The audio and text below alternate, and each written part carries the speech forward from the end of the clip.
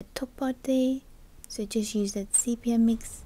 You'll see I leave a slight little highlight section there. And if some of the pigment uh, flow into the bottom part it's perfectly fine. I don't mind that.